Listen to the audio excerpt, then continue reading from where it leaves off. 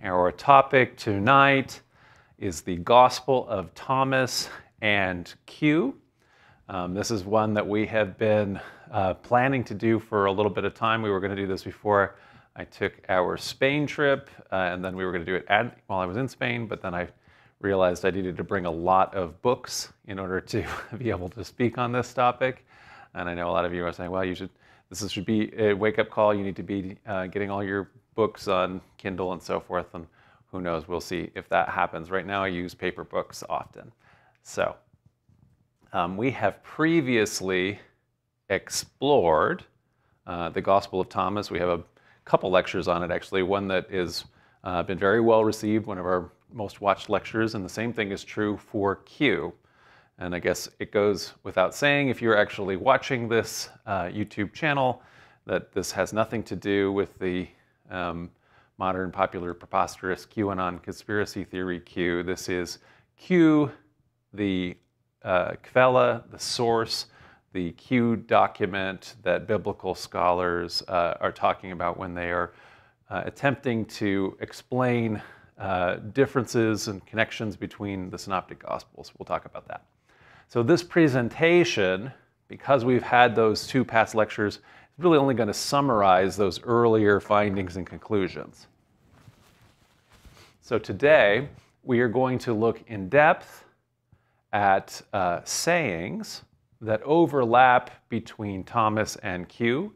So these are both sayings gospel documents in order to explore whatever the relationship is between these sayings gospels and also so that we can see what they tell us about the underlying oral tradition that presumably links us back to certainly early the early Christian movement, the proto-Christian movement, pre-Christian movement, and the historical Jesus. Okay, so just by way of a summary background, uh, there are four canonical gospels in the Christian New Testament. Um, those are the ones that made it in and were organized and were pretty well understood as canon by the uh, official Roman Christian church as it emerged and was organized in the fourth century, uh, even though the canonization of the whole New Testament still took another while even after that. Um, so only four of the many, many Gospels that were in circulation in the first and second and even more as the time went on, centuries, only four of these were included in the official canon of the Bible's New Testament. You know, again, all of the books were written independently. They weren't ever meant to be a Bible together. They got put together to create a Bible uh, after the fact, centuries later. So we call these four texts Mark, John, Luke, and Matthew. Uh, and so I've taken that artwork that we have there of Mark, John, Luke, and Matthew, and how do I know uh, which one is which if we're having sculpture like that, or like um, a couple weeks ago when I was taking pictures of the, uh, the cathedrals in Seville and other places in Spain, and we see the four evangelists on the walls and so forth, how do we know who they are?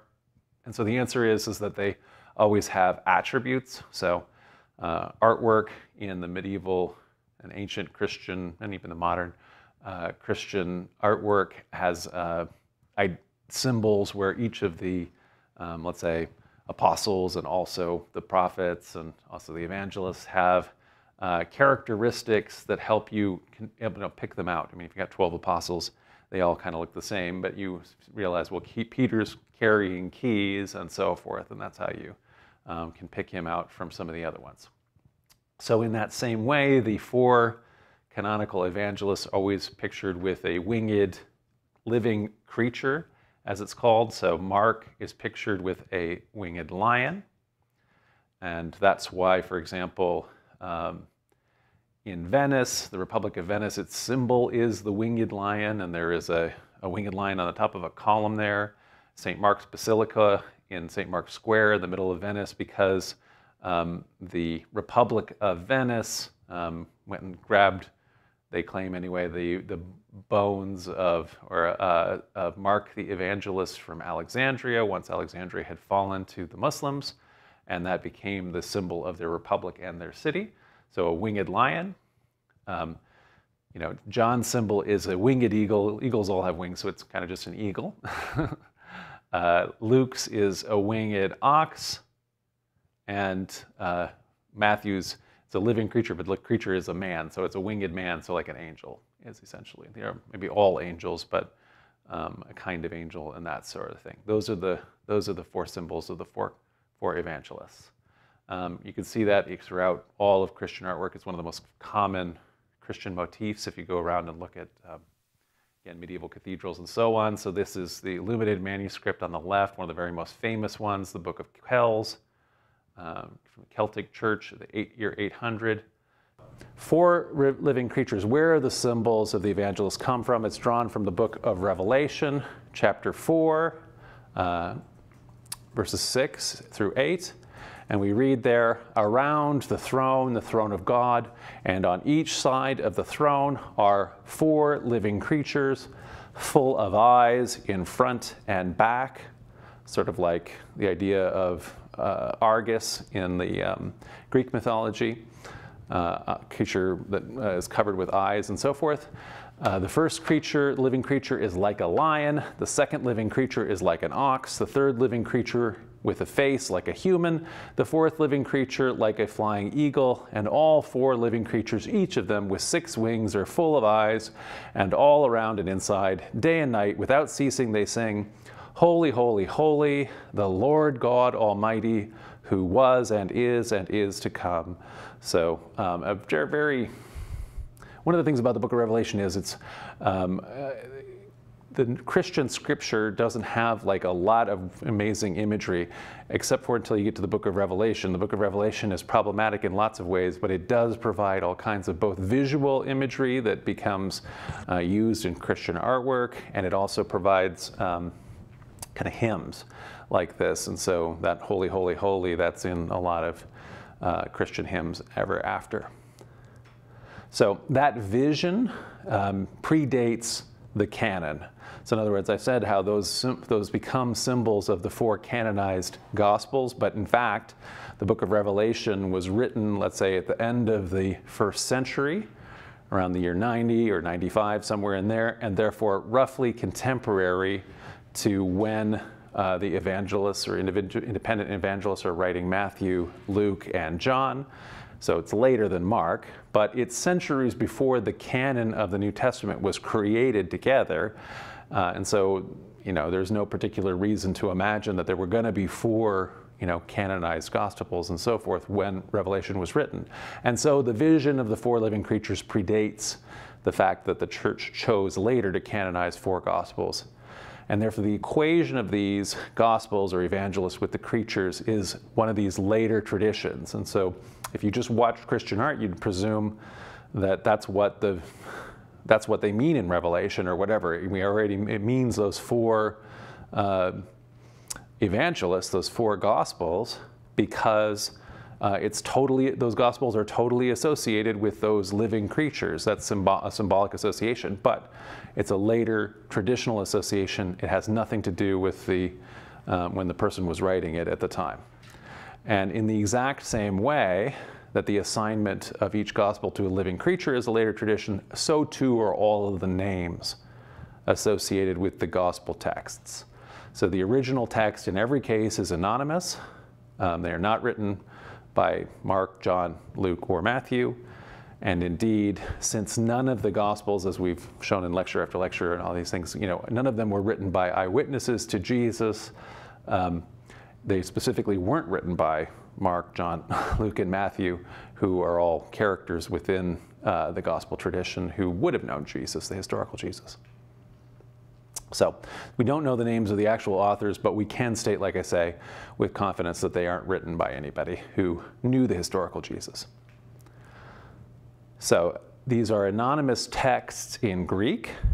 And as we've said a bunch of times, although Jesus and his disciples would have used Aramaic as their native language, uh, we don't have, none of the original um, writings of Christianity are in Aramaic. They're all in Greek, including these four texts. And all four of these texts include serious anachronisms because they, uh, like all texts do, they share the perspective, the time and place and understanding of their authors, their individual author, rather than the earlier time they're narrating. So, you know, any of us, um, even if you're writing historical fiction now, now that we have access to so much, uh, you know, amazing, um, say if you're trying to write it doesn't have to be fiction, but let's say you're trying to write a historical story that is set in the time in the past, no matter what you would do now, even with all of the um, uh, amazing access that we have to histori- you know, historiography, historical information, anything like that, I defy you. Anything, anybody tries to write something like that, and they're going to introduce anachronism, so it is very difficult uh, to avoid that. Certainly back in this time period,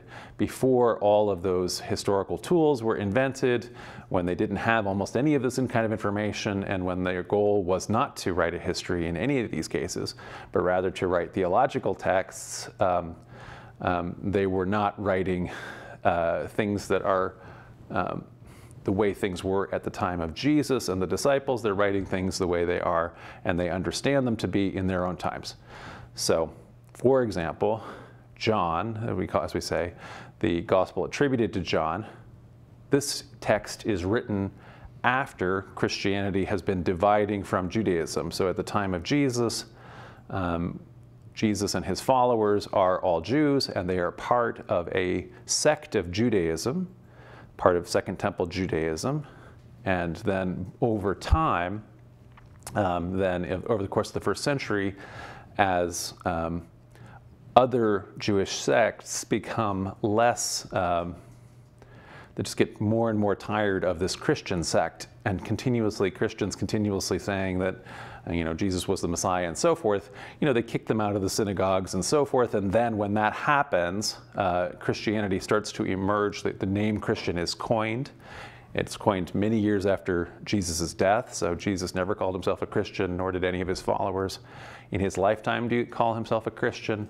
Uh, it's only later that Christianity emerges as a separate religion um, from the other sects of Judaism. So, for example, though, in the Gospel of John, which is written after that divide is happening, they will quote Jesus, or Jesus will talk about, he'll talk about the Jews. Um, you know, this is uh, totally something that people in the community where the gospel, the author of the Gospel of John, lives. They are talking about their now um, people that they've separated from. They're now thinking of themselves as Christians and they're now thinking of their former co religionists as the Jews. That is not something that Jesus would have ever said.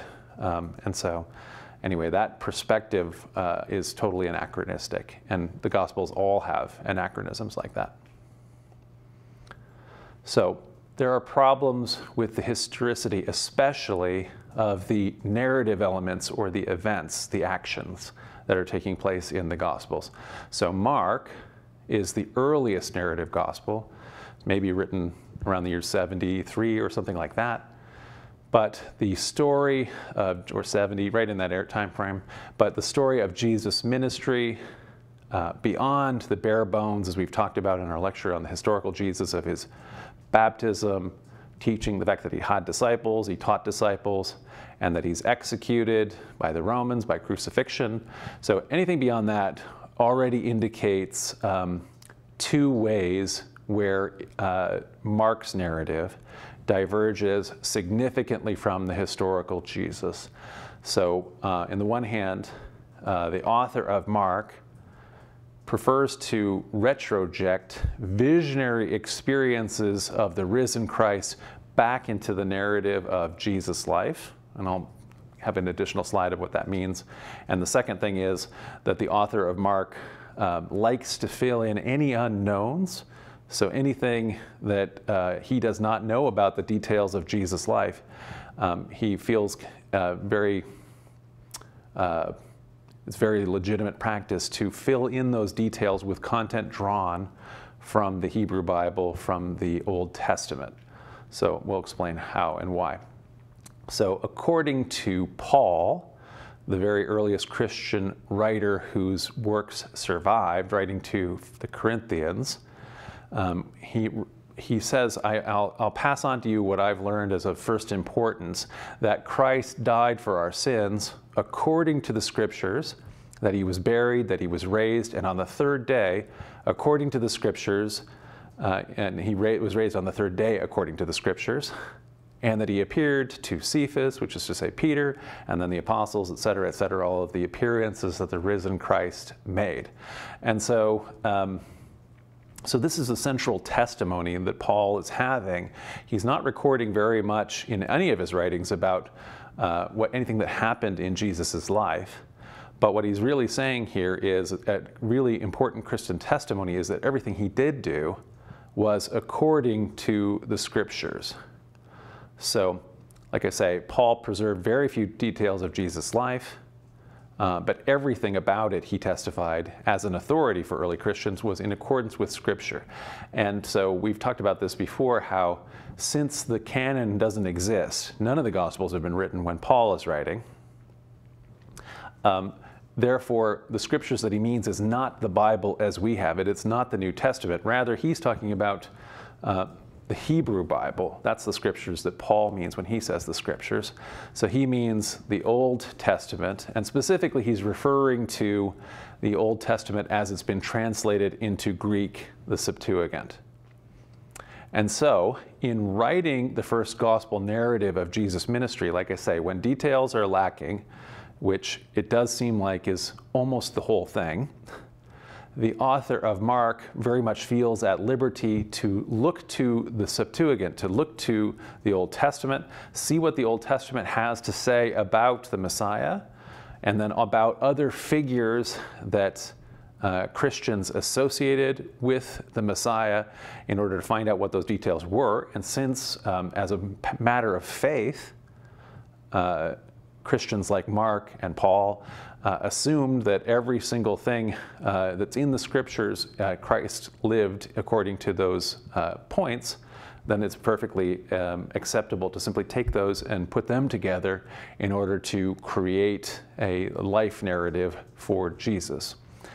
Um, so the fact that, again, the historicity is so problematic, this is one of the reasons that people sometimes erroneously jump to the conclusion, well, that means there was no historical Jesus.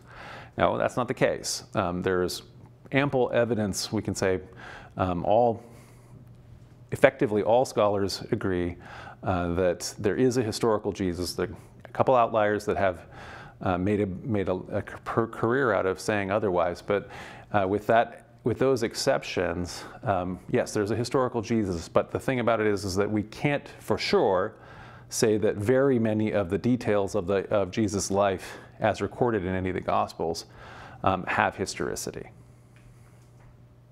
So just a couple examples of how Mark, for example, is doing this in the Easter story. So um, the character, there's a character essentially in the Psalms of the innocent sufferer. So as the psalmists in different psalms, like Psalm 22, um, is talking about, um, you know, crying out to the God of, of suffering. This is seen as um, as a again a precursor of the Messiah, how Jesus would have lived according to scriptures. And so there's a text in Psalm 22. They divide my clothes among themselves, and for my clothing they cast lots. And so when Mark is talking about Jesus uh, um, upon the cross, uh, talking about the soldiers who crucified him, it says, And they crucified, it, crucified him and divided his clothes among them, casting lots to decide what each should take. So, so there's no particular reason to think that um, there were any eyewitnesses necessarily, uh, um, you know, Christian eyewitnesses that are writing this. The disciples have all fled in most of the narratives, not in um, John, uh, which is, has almost least likely to have any historical relevance to anything. But anyway, uh, to be almost an entirely theological story as opposed to this. But anyway, Mark, the earliest one, there's um, the detail here instead is not from a witness, it is from um, the psalm. And you can even see, you know, divided my coats, cast lots for my clothing. It's, it's very, you know, it's kind of a clear detail. Likewise, um, in Psalm 22, uh, one of the lines is, My God, my God, why have you forsaken me? So the innocent sufferer asks that. And at 3 o'clock, we read in Mark 15, when Jesus on the cross cries out with a loud voice, Eloi, Eloi, lema sabachthani, which means, My God, my God, why have you forsaken me? So, in other words, it's a quotation from this. Jesus is saying that as his last words in Mark's gospel narrative because that's what the innocent sufferer says in Psalm 22. And so, throughout the entire text, actually, the author of Mark supplies details from the Septuagint to create the narrative story for Jesus' ministry. Okay, so we have that on the one hand going on. We have another thing going on, though, that we've talked about with the origins of early Christianity, which is um, a significant component of how Christianity is even spread initially is by people preaching in the Spirit. So after Jesus' execution, his female and male disciples begin having visionary experiences of Jesus. So Jesus raised from the dead. This spread to people who had not even known the historical Jesus, like Paul, guy originally named Saul, who identified the risen Jesus, we had a vision of, with Christ, the Messiah, as the incarnation of God's glory. And so this is a, um, a theological innovation within Judaism. Um, you're not able to see uh, or picture or, or um, say the name of or you know anything you know the you know God the Creator. You're not able to make a statue of, no make no graven images, and all those sorts of things. You're not supposed to say the name aloud and that kind of thing. But you can see uh, the glory that, uh, of God. Um, and so you can see, for example, God's wisdom. You can see um, all of God's creation. All of these are effects or um, components of God. And so the idea here now is that all that is already a pre-existing theological concept all across the Old Testament. And now Paul is asserting that Jesus is the Messiah who is the incarnation of God's glory. And so it's not that far a removal from the rest of Judaism and how it would understand anything, it's just that one little additional in innovation. So Christianity then is spread by mendicant apostles in pairs, people who are going without purse or script, they're not bringing um, food or, or money, but they're going around to go preach uh, the good news of, of Jesus, the teachings, and so forth. Uh, Jesus has conquered death and these kinds of things. There's a kingdom, uh, inclusive kingdom of God on earth that reverses all of the iniquities or the unrighteous, unjustness of the Roman kingdom and so forth. Um, they are going around in, in pairs preaching by the Spirit. And so that will include sharing essentially visionary experiences or sharing their testimonies of visions that they've had uh, with the risen Christ and so forth. So, since most of the testimonies of apostles speaking from the Spirit are shared about Christ, most of those are visions of the risen Christ the stories over the course of the next few decades that are best known in the Christian community, they naturally postdate the life of the historical Jesus. They're about the risen Christ, they're not about the historical Jesus, who's frankly less important in the early Christian community. Certainly Paul doesn't talk as much about what Jesus was doing in his, in his regular life. Because of his particular take on the apocalypse then, which he believes is underway, the author of Mark, um, retrojects these visions into his narrative. So Mark, as we've seen when we looked at that gospel, doesn't want to have, uh, you know, unlike the other gospels, unlike almost all Christians, Mark doesn't like this idea that people have been you know, seeing the risen Christ. Mark thinks the end of the world is happening right now. The Romans are destroying Jerusalem, the temple, and so forth, right when he was writing that text. And he is a literal apocalypticist, and he thinks that Christ has not come again visionarily or any other way, and he thinks instead that Christ is about to come again. And this is a big sign of it. And so his um, polemic text, a text that almost all the other Christians don't agree with that, um, and actually find that uncomfortable, and they don't like how Mark's um, book ends as a result of that, and so they write different endings for it, and they rewrite Mark's text. Uh, nevertheless, because Mark is the first one that has a narrative, people decide, well, we do like a narrative, and that's interesting to have. And because he takes all of those visions and retrojects them into Jesus' life. So suddenly, when Peter and James and John, let's say, have a vision of Christ in glory on a mountain and they see him with Moses and Elijah, that may be a prominent vision. But instead of it being a vision after Jesus' death and resurrection, a vision of the risen Christ, that now is brought by Mark into the narrative of when Jesus is alive. And, and then potentially also the Jesus' baptism uh, vision is another one of these. Uh, the idea of seeing Jesus walking uh, on the Red Sea, I'm sorry, on the, Sea of Galilee. This is like um, potentially, probably initially, a vision that apostles will have had of the risen Christ, and now that makes its way instead back into the lifetime of Jesus. That part we don't know for sure, but anyway, it seems to be um, how this got written the way it did. In other words, not by anybody. Um,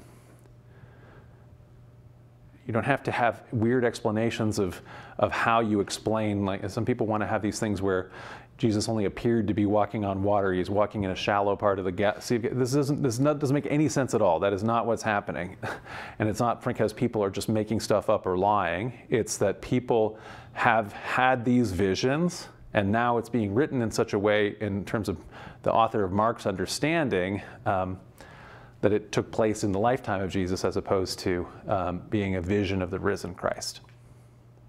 Okay, so while all of these processes that we're talking about, all of these things make reconstruction of the actions, the deeds of the historical Jesus very problematic, very difficult to reconstruct. There are actually reasons that we can be a lot more hopeful that we can reconstruct the teachings of the historical Jesus with more confidence. So, early writings preserve many teachings of Jesus that take the form of things like clever maxims, aphorisms, and also parables, um, all three of which are kind of things that are able to survive through an oral tradition. And um, by contrast, uh, whereas some Christian communities, like Paul's communities, didn't particularly value whatever the acts or deeds of the historical Jesus were, you know, at least in the early years when Paul is running around. Many of the early Christian communities actually did value Jesus' teachings, and so we have, again, reason to believe that, uh, that those have being preserved uh, better, even if memory of, let's say, that most of the details of Jesus' life were being forgotten. So how does oral tradition work? So like the Iliad and the Odyssey of Homer, the Quran in Islam is composed orally as poetry, and as such, it's something that can be memorized and repeated. And uh, there, of course, then when you, that's happening in the oral tradition, there can be lots of variations of the text before it's finally written down. And so um, there's all kinds of reasons to believe there are variants of, um, you know, the Iliad and the Odyssey. There are different uh, versions of it, and what we have is not going to be what it would have originally been like, because there are ways that if you're going to memorize an epic poem of that length, you're not really memorizing it. There are ways that you are um, you're memorizing parts of it, but there's also formulas for expanding and changing it as a as an epic poet. Uh, and likewise, you know, there's all kinds of reasons to believe that. Uh, uh, there's a lot of variation in the Quran in the first many generations, and it is only under the later caliphs that, um, or the caliphs that, uh, that the thing is standardized and brought to what we have today when it is um, fixed and finalized. So um, those are for epic poems. Like I say, though, um, that's not what Jesus taught. So he didn't write a poem, an epic poem, but he did write sayings um, that are, had ways that were easy to be remembered and transmit by his disciples via uh, oral transmission. So Jesus, as I say, taught in Aramaic, but all of our earliest texts are in Greek.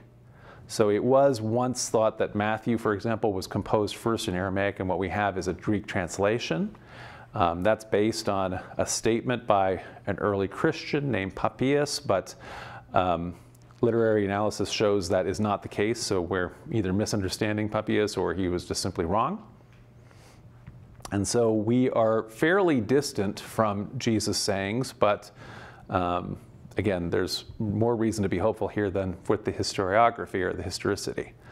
Uh, so Jesus' spoken teachings, there are decades of oral tradition and a language jump from Aramaic to Greek to have them written in documents like Q, which are lost, and then have that to be in turn um, used and written by written into uh, Matthew and Luke, which have survived.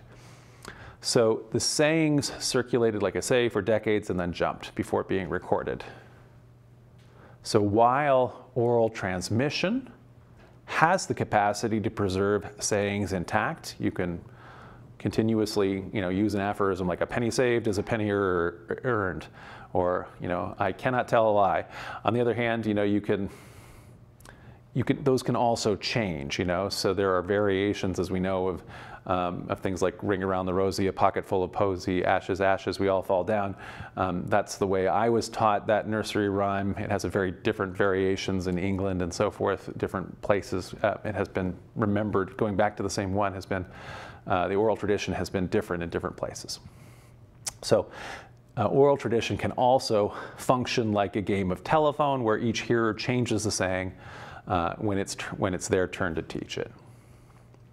So we've seen before that we have uh, across the canon, can, canon of Gospels and then also in Gospels that are extra canonical, we have uh, alternate versions of the same saying.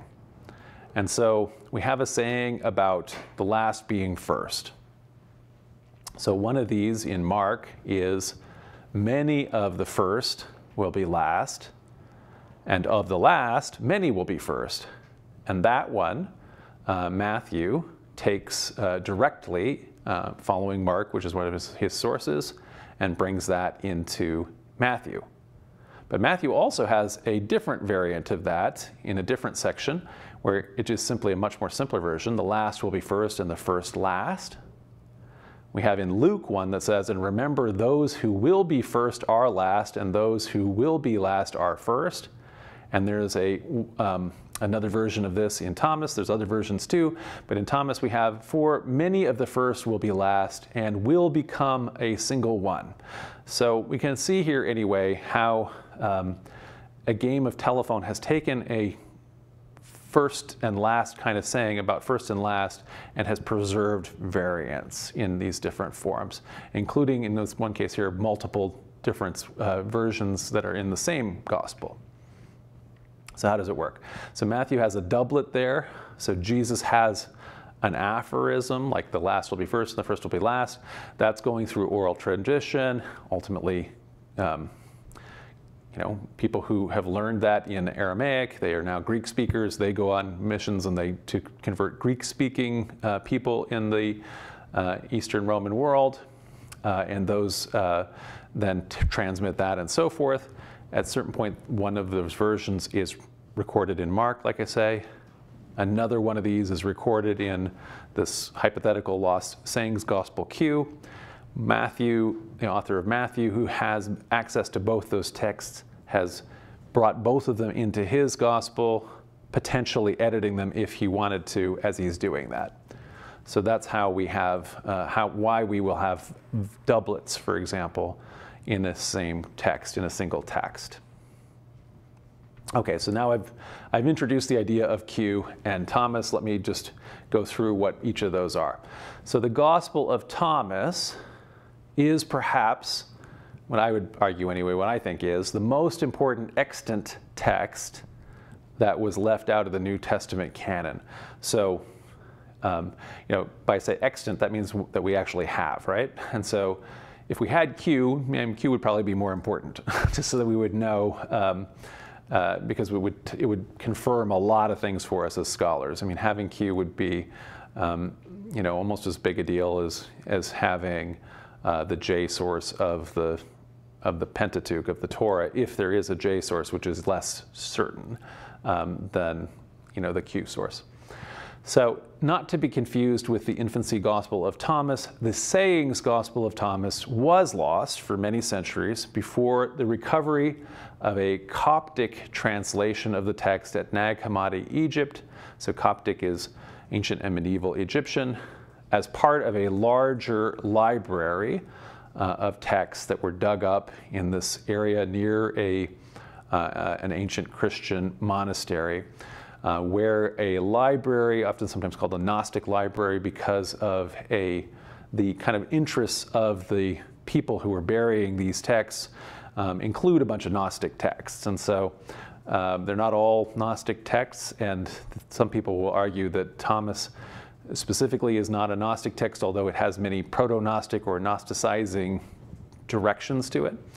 Um, but in any event, whatever people want to argue about that, uh, that text has now been found. Meanwhile, Q, if it did exist, remains uh, lost. So, the synoptic problem. So, long before the rediscovery of Thomas, biblical scholars demonstrated that what the three synoptic gospels, so Mark, Matthew, and Luke, they're called synoptics because it means they can be read together because they are very, very similar. They overlap uh, in content by contrast to the Gospel of John, which is very different indeed. So, I mean, just if we think of, you know, for example, Jesus teaches in parables, except for not in the Gospel of John. He doesn't have any parables. So, it's a very different uh, overall kind of uh, format and even order of the narrative, and there are contradictions between the synoptic narrative and John's narrative and so forth. So, textual dependence. There's a, there's a relationship between them, which is literary textual dependence, which means either all three of these share the same lost source. So there was some kind of original gospel, and uh, each one of these uh, evangelists have uh, deleted parts of that and only copied down parts of that source in order to make theirs. So that's uh, kind of a weird idea that to happen. Or um, one is the very earliest one, and then uh, uh, and the other two are copying from that one or using that one as their source, and again deleting and or changing things from it. Or um, one is the original one, and then the second one changes it, and the third one is using either the first two or just the second one or something like that. So in other words, there is some kind of a relationship, but it's not, these are independent people who have participated in the oral tradition and, uh, and then are just writing down their own eyewitness account or something like that. They're not eyewitness accounts. Rather, somebody has got, um, you know, at least two of these have at least one of these in front of them as they are, um, as they are uh, writing their text because they're copying it directly. It's not an oral thing, it's a literary dependence. Okay, so nearly all scholars agree at this point that the most likely scenario is that Mark is the um, earliest and that Matthew and Luke are using Mark as their source. Um, it's, it's, uh, it's, very hard to argue it any other way. So you have to, you, it, um, Mark is uh, kind of the simplest and has, it has most problematic and it also has um, uh, you would it also is missing a lot of these wonderful things that the other ones add, and you'd have to you have to argue essentially that um, Mark, if he's using one of the other two as his original source, is condensing it and is throwing away things like the Sermon on the Mount. Oh, nobody's going to want to read about that, you know. And so there's all these things that. Um, uh, it make it very unlikely that it's any other way around. So Mark is the earliest. But because Matthew and Luke share material that is not found in Mark, like the Sermon on the Mount, uh, and again, those things that they have in common that aren't in Mark, there's still literary dependence. They must have had an additional lost source. And so the most likely scenario, or the most commonly accepted scenario, is some variation on the two source hypothesis, which states that uh, there was Mark as the original narrative gospel. There is a lost source, or Quelle in German, Q, that's where we get the name Q, a lost source that we don't have of Jesus' sayings. And then the authors of Matthew and Luke have access, independent access to both of those, and they use both of those independently in order to craft their own gospel narratives. So there's objections to this hypothesis. So one of those is there are additional minor agreements between Matthew and Luke that require explanation. Um, I think these can be solved uh, fairly readily by kind of pointing out, in most cases, you know, like Matthew, I'm sorry, Mark will make an error. So Mark, as I say, is getting a lot of Mark's narrative by, for example, quoting the Septuagint or Old Testament, but Mark doesn't know the Septuagint very well and will make a lot of misquotes often. And so Matthew and Luke, who both have access to the Septuagint, will go back and correct Mark. So that has nothing to do with Mark. Uh, their changes will then have, they'll agree with each other because they're making a correction, but it will um, uh, not be what's in Mark, and it doesn't have to be within, within Q either because they are correcting errors that Mark is making, uh, that kind of thing.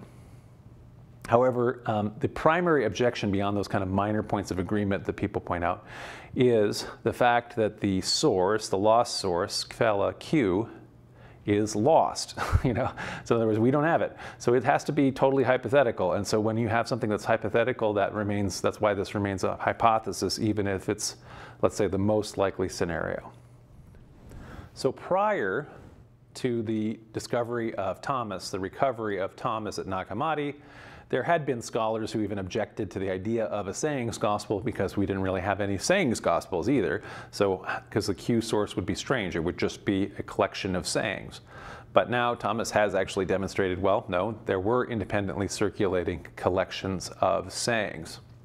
And so, as a result, uh, because of that, after Thomas was recovered, there were some sort of initial hopes uh, you know, it's written in Coptic, so not everybody can immediately access this thing and understand it. Um, there are some initial hopes. Well, maybe this thing actually is Q. Maybe the um, sayings gospel Q has been found. So this, you know, is a spoiler alert. This did not prove to be the case. So Thomas isn't Q, and we'll kind of show why uh, in this lecture. But nevertheless, both Thomas and Q, you know, as Q can be reconstructed from what we understand, you know, we reconstructed the International Q um, symposium, uh, you know, reconstructs it based on their uh, literary criticism reading of Matthew and Luke, uh, that both of these seem to preserve literarily independent witnesses to the sayings of Jesus. So Thomas and Q then seem to be uh, another, another strands of witnesses along with Mark, John, independent Matthew and, and Lucan material that isn't in either, and then other New Testament writers like Paul, like James, and so forth, uh, various other texts that are left out of the canon. So, in other words, different witnesses that can kind of bring us back to teachings that may be traced to the historical Jesus. So, um, what we're going to be doing to now for the bulk of the presentation is comparing sayings in Q and Thomas.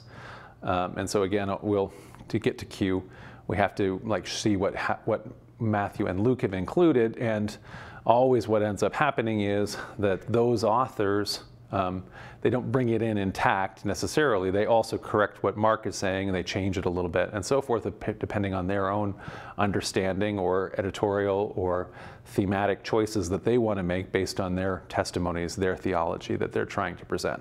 So we'll compare Q and Thomas, but we'll have to use Matthew and Luke to do that.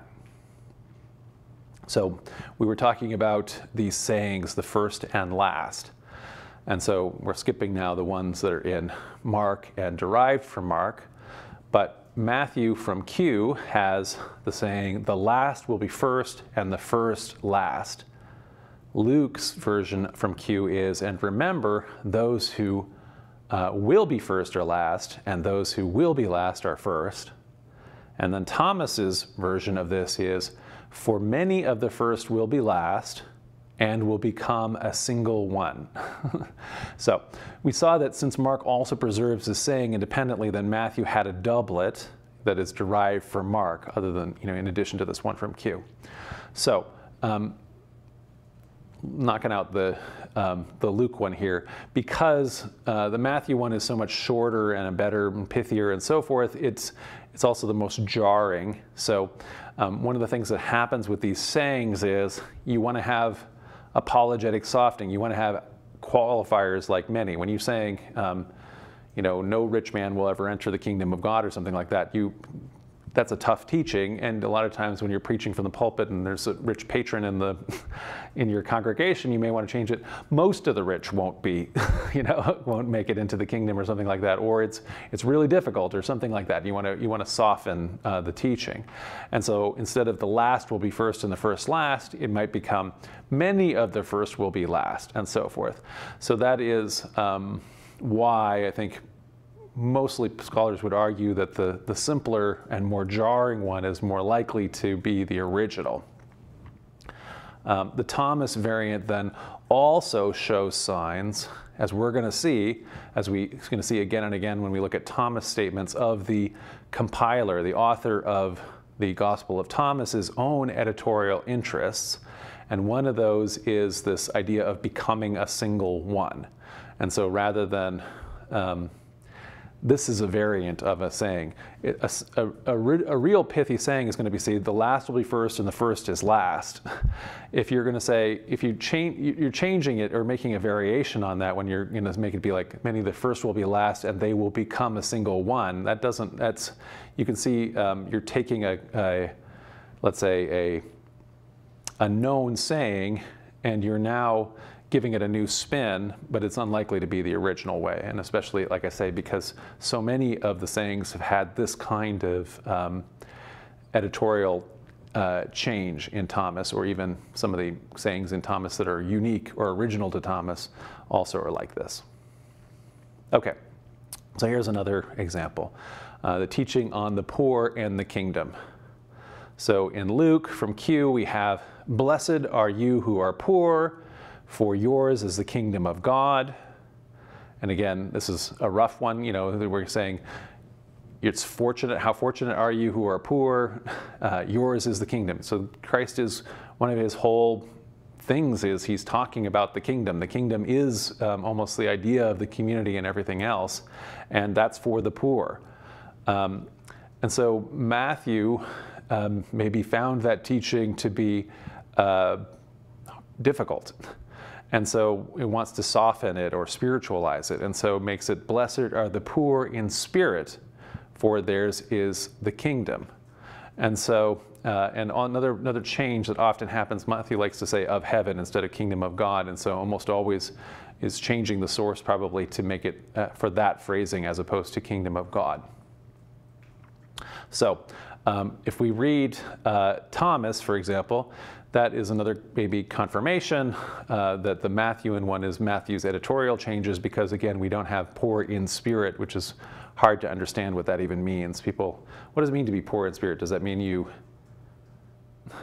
uh, you're weak spiritually? And that doesn't make any sense because why are, why are those weak spiritual people uh, um, blessed? You know, so it isn't, it doesn't easily make sense.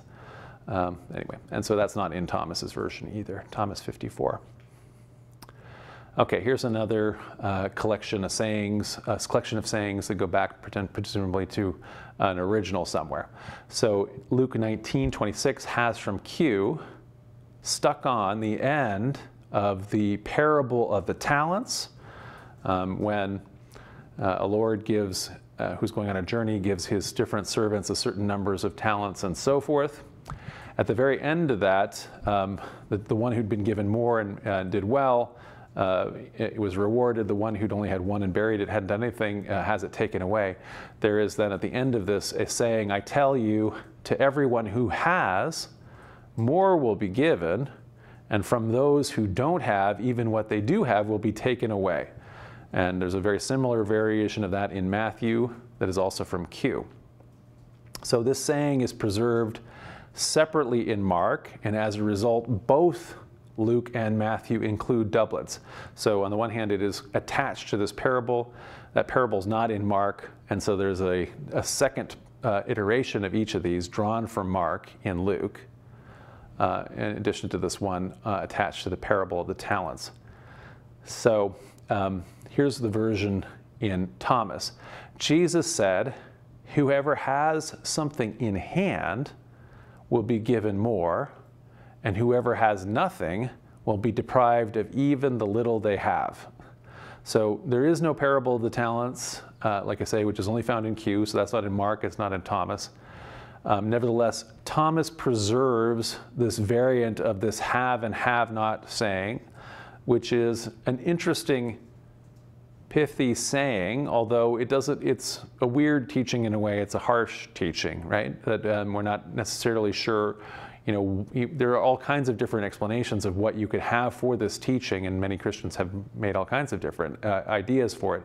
But in general, it's just an uncomfortable uh, saying and an interesting saying um, that has now survived and has been circulating independently of the parable, which may have been joined by an editor of Q. And so, what this again starts to make us be aware of is uh, in this oral tradition of circulating uh, parables and independent pithy sayings, even when we're getting back to the level of Q, there's still um, an author and there's still editorial decisions and themes that are being made. Okay, here is another um, saying, or in other words, a, and there's an original saying, and we have all of these different variants, right? So there's a saying about having faith to move mountains that's preserved in Mark, in Q, and in Thomas. So Mark places the saying after a story where Jesus has cursed a fig tree. So Matthew, who follows Mark, who uses that as one of his sources, includes this variant. Uh, Luke deletes that variant. Uh, Luke is less likely to include Markan material than Matthew. Matthew includes almost the entire book of Mark.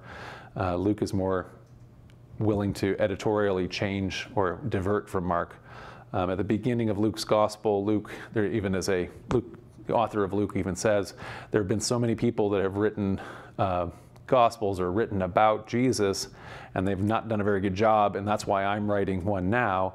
Um, this seems to be an editorial comment on Mark, which Luke doesn't necessarily, uh, you know, like some of the ideas of, but doesn't like it as, a, as an overall text. So this gives Matthew a doublet again on this saying. Uh, as both uh, Luke and Matthew include a variant from Q. So Luke's from Q variant is in chapter 17, and it says, The apostles said to the Lord, Make our faith grow. And the Lord said, If you had trust no larger than a mustard seed, you could tell this mulberry tree, uproot yourself and plant yourself in the sea, and it would obey you. So, um, this is the only one that has mulberry trees. Every other instance of this, um, the, the faith, you know, when you have faith uh, a size of a mustard seed or whatever, a tiny amount of faith, you can move mountains.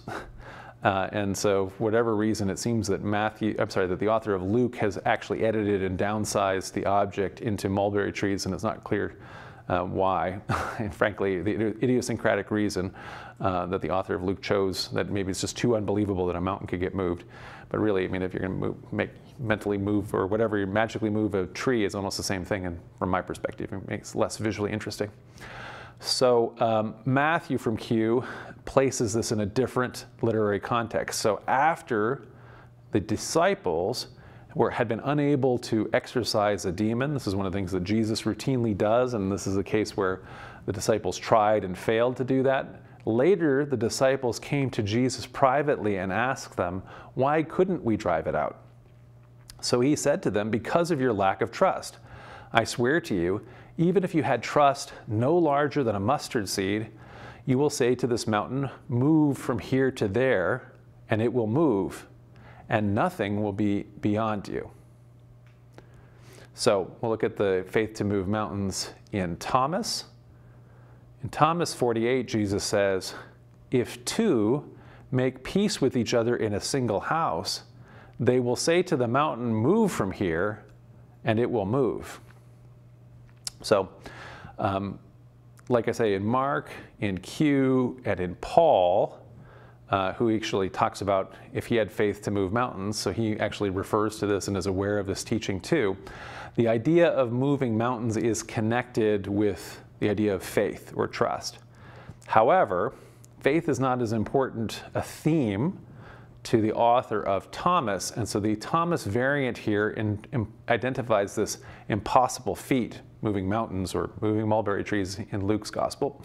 Moving mountains is not about faith, but it's with making peace. And so this seems to fit, like I say, with that over overall editorial goal of the author of Thomas, whose regular themes include two becoming one, becoming one, and so forth. So if two make peace, essentially they're becoming one, right? That's going to give them uh, the power to move mountains. Okay, so I've mentioned here about doublets in Matthew and Luke. So we have this initial oral tradition, a saying that whatever the originally goes back to historical Jesus or to other um, leaders in the early Jesus movement, John the Baptist, Jesus' brother, uh, James the, uh, the Just, and so forth. Sayings with independent witnesses in Mark and in Q. So that saying will have a version in Mark and there'll be another version in Q. That will sometimes result in doublets, like I, well, we've just seen in Matthew and Luke, because sometimes Matthew especially will preserve both sayings, and sometimes Luke will too, although sometimes one or the other of them will delete one of them because they've already got a version of that uh, from the other source. So, and Thomas will also have a variant of the saying. However, what we're going to find out as a closer examination on Thomas that there are also doublets within Thomas and even triplets within Thomas, where a single saying is preserved in two or three forms. And so that implies that there is actually probably a complex editorial development before we get to the present Thomas, the version that we have. And so there might be a very earliest version of Thomas that is lost still, just like there's a lost Q and there's earlier versions or source texts behind the Gospel of John and so forth um, that again have to be hypothetical and we have trouble um, identifying or piecing out for sure what they were and um, way less assurance than we have with the hypothetical of Q even. But in any event, we want to just kind of even say there's probably a bunch of complex development to even get to where we are with Thomas because of these doublets and triplets. So here's a couple examples. So there's a, a saying cluster about seek and find. And so Luke 6 has, again, drawing from the Q source, since we're comparing versions here of Q and Thomas, uh, has, so I tell you, ask, it'll be given to you, seek and you'll find, knock and it'll be opened to you, open for you. Rest assured, everyone who asks receives, everyone who seeks finds, and for the one who knocks, it is opened. There is a, um, a variant of this that's very, very similar from Q in Matthew. And indeed, there are, um, there are actually other attestations of this ask, and, and you will find uh, variations, including, including some from James and so forth, that are uh, also not dependent on, on Q. So Thomas's, uh, one of Thomas's variants of this is, Jesus said, one who seeks will find, and for one who knocks, it will be opened. And so that's very similar to, you know, part of the Q version here that we have in Luke and Matthew. We don't have, you know, we have the seek and find and knock and open. We don't have the um, ask one as part of that, but and we don't have the the assurance of the end. So it's a smaller, uh, simpler variant of it. Um, Seek and find, uh, though, is also a doublet, has a doublet in Thomas. So in Thomas 92, we have this variant Jesus said, Seek and you will find. In the past, however, I did not tell you the things about which you asked me then. Now I am willing to tell them, but you are not seeking them. So that's an interesting twist and very different in terms of uh, an addition to this. So um, this has additional edit editorial material, which I mean, uh, which seems to fit the author's again editorial program. So in this case, Jesus is offering to tell disciples secret teachings that he was previously unwilling to share.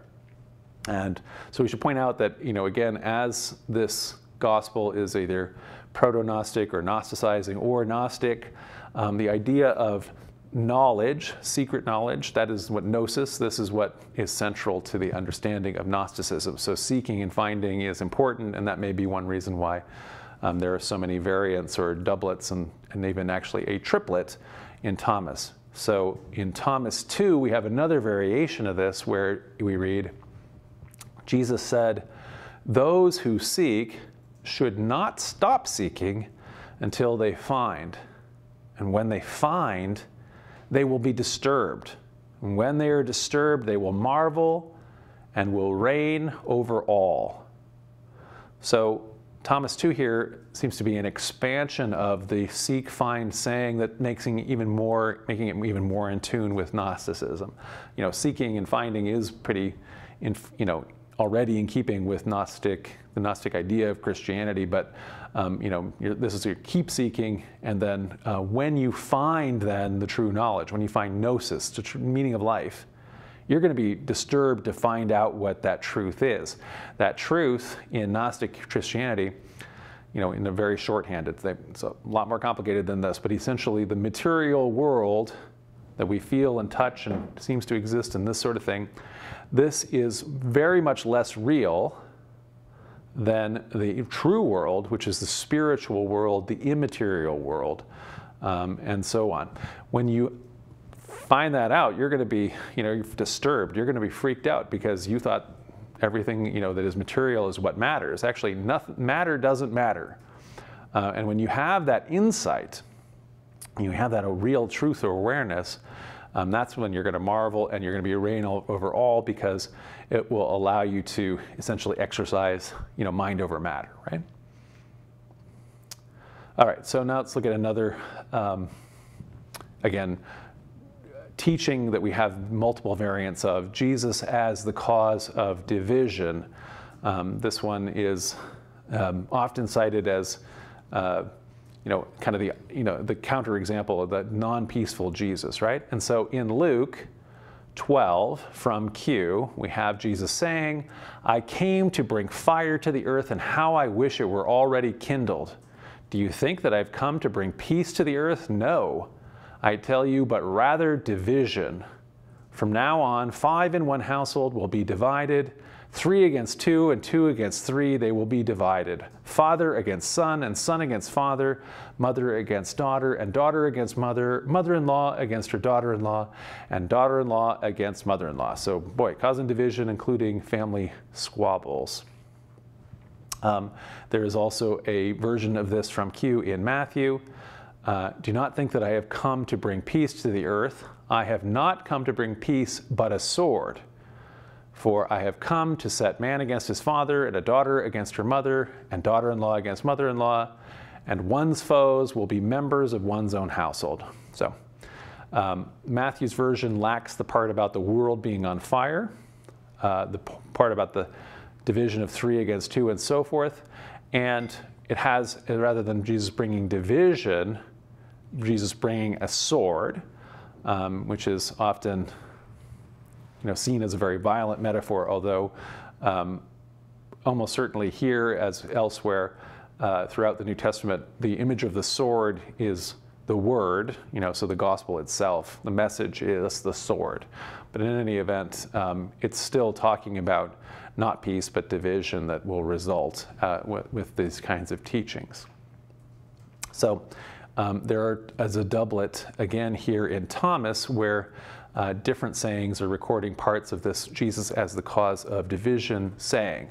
So in Thomas 10, it reads, Jesus said, I have cast fire upon the world, and look, I'm guarding it until it blazes.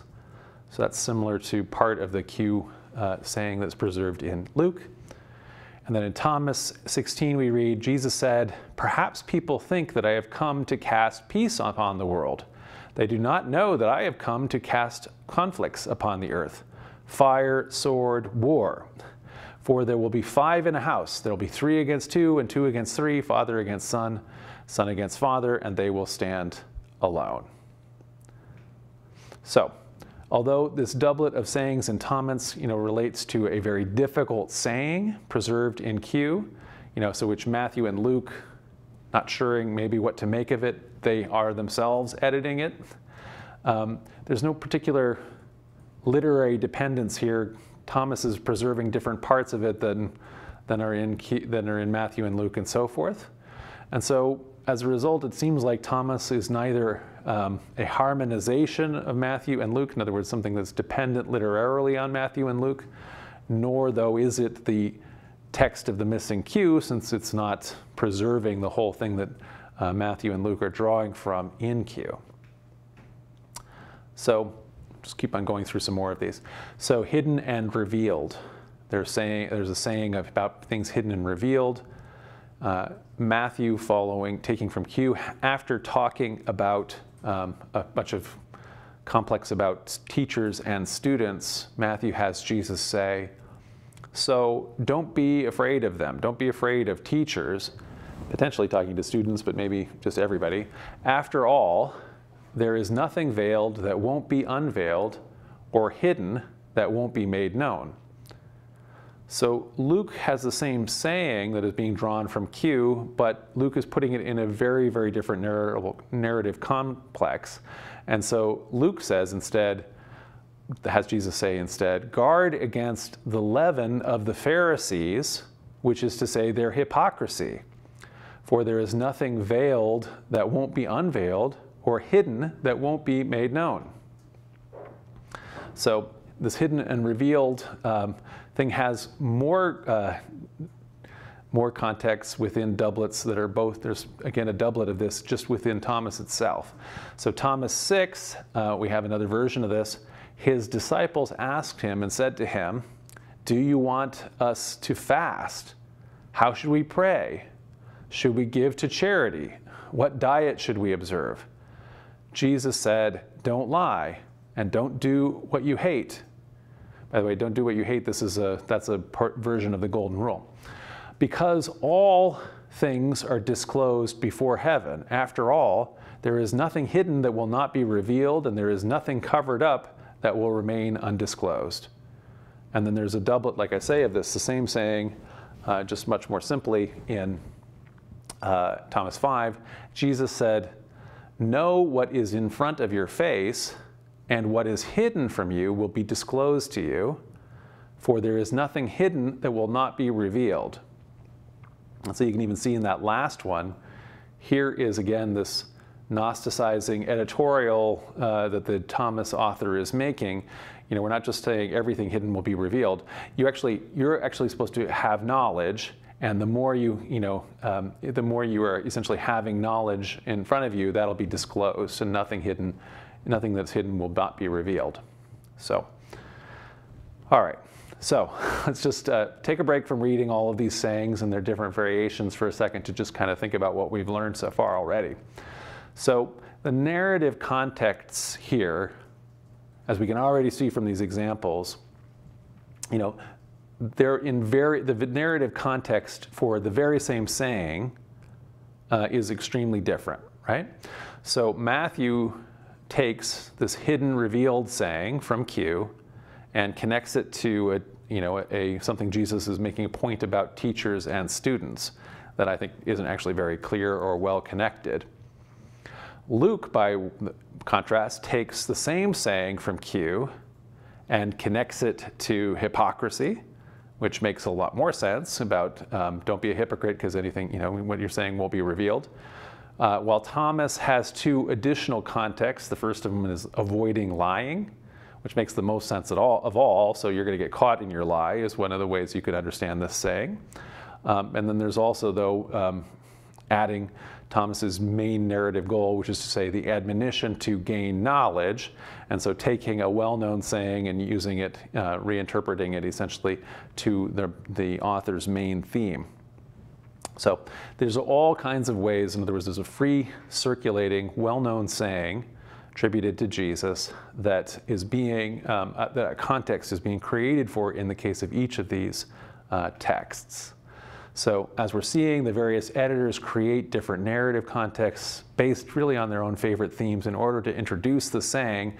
And so really, for all of us, this should be an additional illustration if we needed one, that while the narrative stories in the Gospels, they lack historicity. They are the inventions of the writers who are introducing ways to, to frame together sayings, for example, the sayings have more potential to be traced to the historical Jesus via the oral tradition. Those are the things that all have a, a, a common thread through all these, right?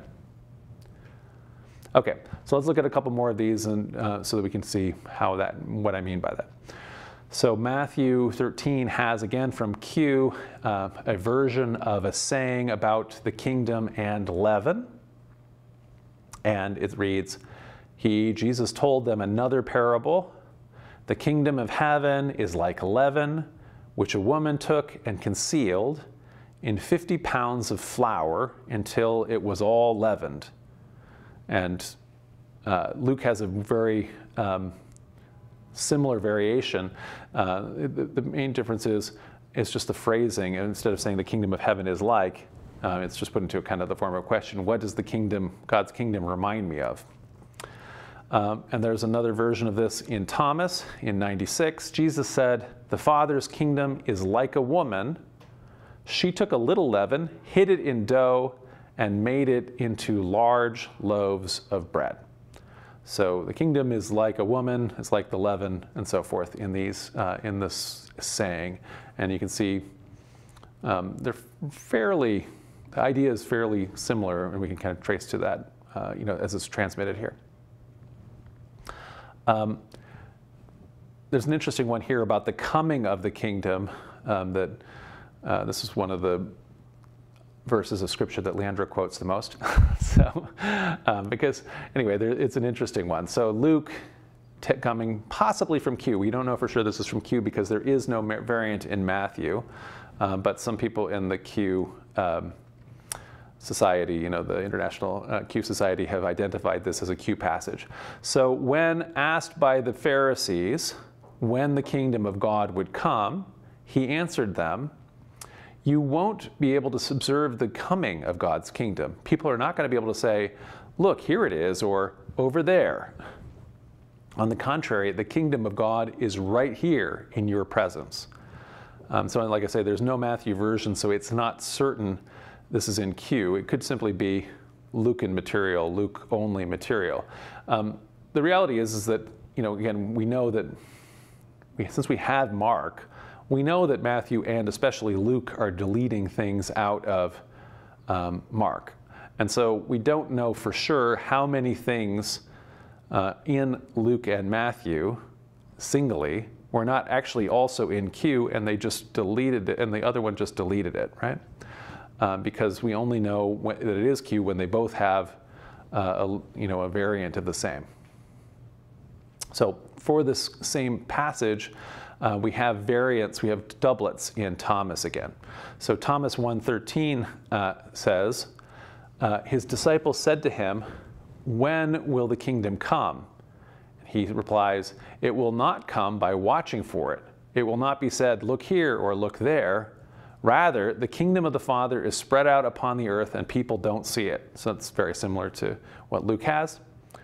Uh, Thomas 3 has a variation as a doublet here. Jesus said, If your leaders say to you, Look, the kingdom is in the sky, then the birds of the sky will precede you. If they say to you, It is in the sea, then the fish will precede you. Rather, the kingdom is within you and outside you. And this is one of those sayings where there's even a triplet, and so Thomas preserves another version of this. His disciples said to him, When will the rest for the dead take place, and when will the new world come? And he said to them, What are you looking what what you are looking forward to has come, but you don't know it.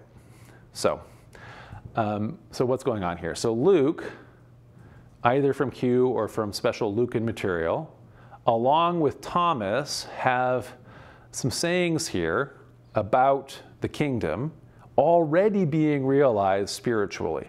So this is opposing a alternate Christian take that was very much uh, alive at the time, um, uh, which is that the kingdom will come in a future time in history in a very literal way when the world will be destroyed, you know, so apocalypticism.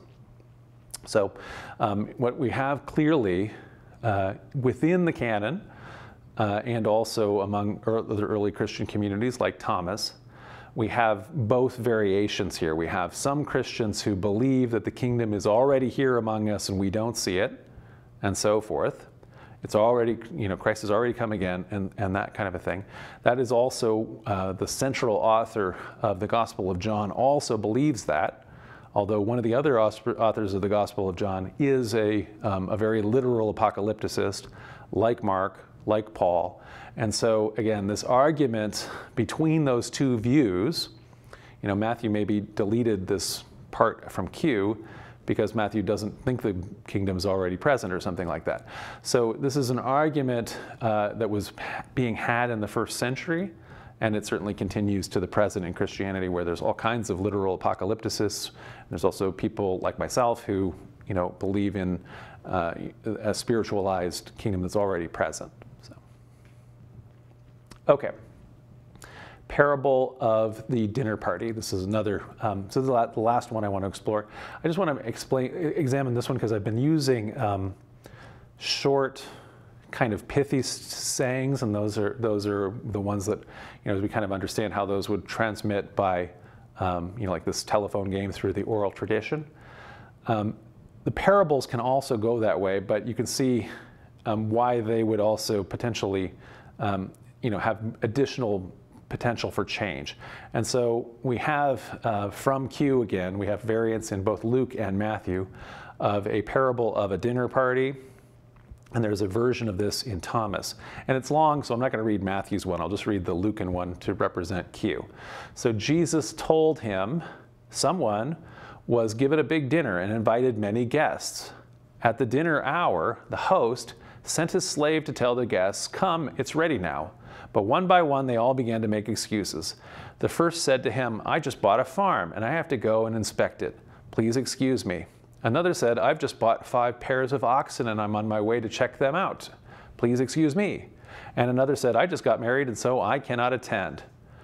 So the slave came back and reported these excuses to his master. Then the master of the house got angry and instructed his slave, Quick, go out into the streets and the alleys of the town and usher in the poor, the crippled, the blind, and the lame. And the slave said, Sir, your orders have been carried out and there's still room. And the master said to the slave, Then go out into the roads and the country lanes and force people to come into my in so my house will be filled. Believe you me, not one of those who were given invitations will taste my dinner. So, um, you know, there's essentially a, a, narrative here that's fairly, you know, has a, the original part here anyway has a, you know, has a three-part harmony to it where you, you know, different, different guests are saying no, no, no for different kinds of reasons. And then it's flipped around so that essentially, um, instead of having these wealthy people of property being, you know, the last one are going to be first and here kind of thing, instead of having these great ones who you assume are going to be um, the dinner guests of this amazing party. Instead, they get, it's an inclusive party where the poor, the crippled, the blind, the lame, these are the people for whom the kingdom belongs, right? And so that's a, a parable essentially of, of Jesus' teachings. Um, there is a variation of this in Thomas, um, which even has like way more uh, people who are given excuses. So Jesus said, a person was receiving guests. When we had prepared the dinner, when he'd prepared the dinner, he sent his slave to invite the guests. The slave went to the first and said to that one, My master invites you. That one said, Some merchants owe me money and they're coming to me tonight. I have to go and give them instructions. Please excuse me from the dinner. The slave went to another one and said, My master has invited you. That one said to the slave, I've bought a house and I've been called away for a day. I shall have no time. The slave went to another, and that one said, instead of that one, My master invites you. That one said to the slave, My friend is to be married, and I'm going to arrange the banquet. I shall not be able to come. Please excuse me from dinner. The slave went to another one and said, My master invites you. And that one said to the slave, I've bought an estate and I'm going to go collect the rent. I shall not be able to come. Please excuse me. The slave returned to his master and said, Those whom you invited to dinner have asked to be excused. The master said to his slave, Go out in the streets and bring back whomever you have to dinner. Buyers and merchants will not enter the places of my father. So, so we have here um, two variants of the same parable. They're not the same in their details, as you can kind of see. Um, Matthew also has a variant that's derived from Q that's more similar to Luke's, but is also different. uh, because, again, the editorial uh, interests of Luke and Matthew. So we can see uh, how the details are different, and actually each as, uh, has added editorial conclusions. So uh, specifically here, it's a it's way more about all the different ways you can be a property owner, and uh, and that that's not you know how you get into the kingdom, is the purpose of the the parable as it's told here in Thomas, whereas Q. Uh, and in Luke, puts way more focus on all the people that are going to get invited, uh, into the inclusive kingdom the poor, the outcasts, the people on the margins, and so forth. Okay, so to sum up, um, while Thomas and Q are both primarily sayings gospels and they have very limited, let's say minimal connecting narrative, there is some connecting narrative. Their contents, it turns out, are different. So uh, Thomas is not Q, so we did not find the hypothetical lost sayings gospel when Thomas was recovered. So while they do share a number of sayings, there doesn't seem to be literary dependence. So at times the Q variant, as we've kind of seen, seems closer to what the likely original saying would have been, and at other times the Thomas variant maybe seems more likely uh, to be like the original one. And in both cases you can see why uh, Q or Matthew or Luke or Thomas uh, why the editor has maybe um, changed the saying themselves or given it their version or how they understand it or their own um, uh, interpretive spin putting on it and so forth. So while a number of the sayings, as we have seen and we've kind of gone through at length, there are more overlap than what I've, I've read. I wanted to just give you kind of the central ones and a sense of it. While there are a number of sayings that are found in both Thomas and Q, and as we saw, some of these are attested in Mark and other sources as well. Many more sayings in Thomas have no parallel in Q. And then interestingly, they have parallels in Mark or in John. But, you know, so it's interesting. It's like a, it's a Thomas and John only, but not Q or, or, or Mark and so on.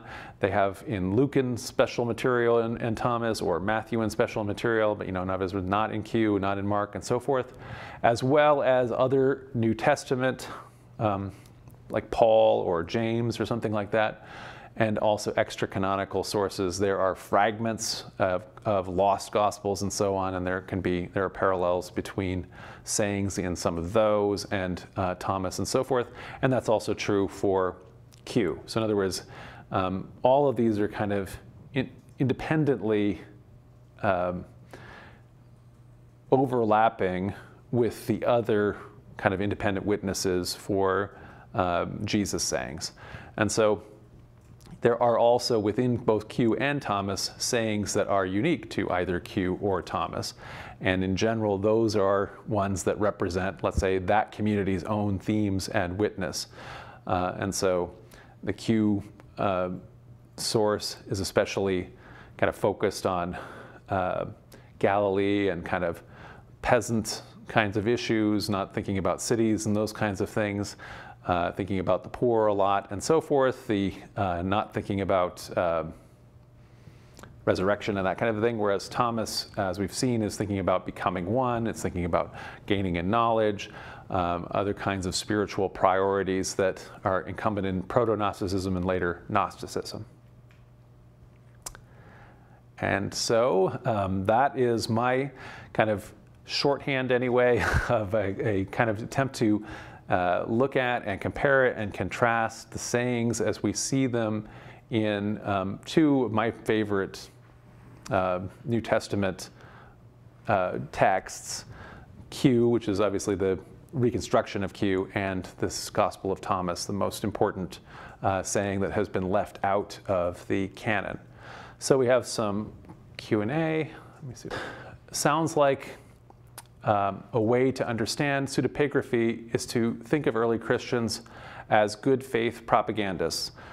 Um, yeah, well, I mean, so in a sense, uh, they are, I mean, we could use the word, I mean, propaganda is kind of a, um, would, I think propaganda comes out when you have a, uh, like let's say a, a, controlling institution. So, um, so we call them, I think, apologists, which is to say people who are um, biased and who are presenting their perspective.